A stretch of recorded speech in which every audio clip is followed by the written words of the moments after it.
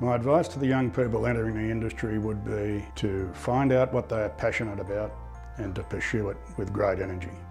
There's a wide range of activities in the Australian cotton industry.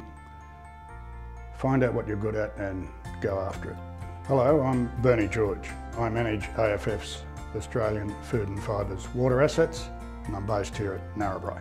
Throughout my career I started in the land development team so that was turning sheep stations into irrigation farms.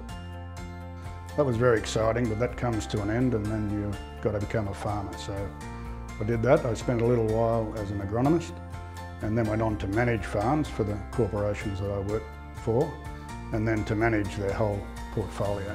I retired from that some years ago and I moved into water, which was uh, one of the challenges for the industry.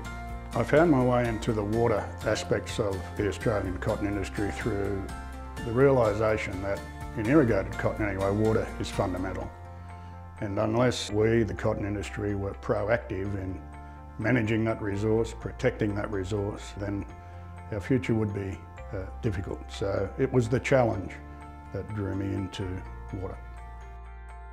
I think our biggest win in water has probably been the recognition of water property rights, the recognition that water entitlements are in fact property.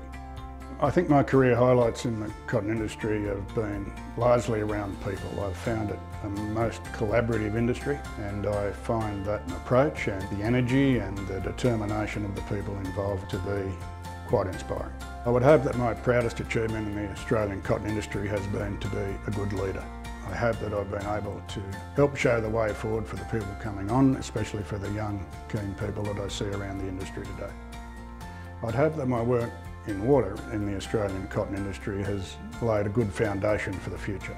I'd hope that the industry would continue to be proud of what they do, to be respectful in matters of natural resources, and to do their best to be good custodians of those resources.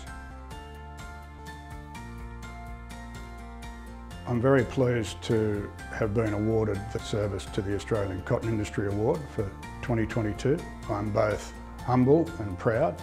I'm humble because the achievements that I've been associated with come as being a member of a team.